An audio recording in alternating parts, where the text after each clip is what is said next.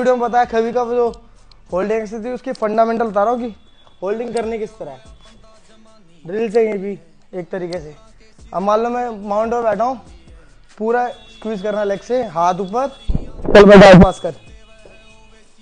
सामने वाले बोला गार्ड पास करने को। जैसा अब ये गार्ड पास नहीं कर पा रही, क्योंकि मैं ज़्यादा स्ट्रॉन्ग हूँ इस चीज़ में। ये मैं गार्ड पास नहीं करने दूँगा आसानी से। अब मान लो गार्ड पास हो भी जाता तुम्हारा तो इसके बाद तुम्हें दोबारा से ऊपर आना, दोबारा से स्टार्ट करना है। पाँच मिनट का राउंड तुम्हें निपटाना है, फिर पाँच मिनट का राउंड तुम्हारा पार्टनर निपटाएगा। ऐसे ही तीन चार राउंड कर लेना थाइस पूरे भर जाएँगी। अब इसके बाद होता है माउंट से पूरा कवर अप करना इस एंगल पे हूँ मैं, पूरा नी को बॉडी से अटैच करके इस तरह रोकना है। चल भाई कर गार्ड पास हिलने भी नहीं देना इस तरह। बियर फाइटिंग है ये पूरी। हिलने भी नहीं दूँगा।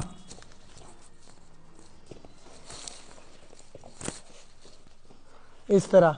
अब पाँच मिनट का राउंड ये सेम फंडामेंटल लेके चलना है। अब एक, जैसे केज की तरफ़ हो गए हम, जैसे केज की तरफ़ आ। सिट होके बैठ। अब यहाँ पर है मैं लेग लॉक कर लिया पूरी अच्छी अच्छी तरीके से, इस इस फंडामेंटल में। अब मुझे क्या करना है, अब उसको यहाँ बोला, चल खड़ी होके दिखा। अभी खड़ी होने नहीं देना इसको। पैर से पूरी जान लगा के दबा के रखना है।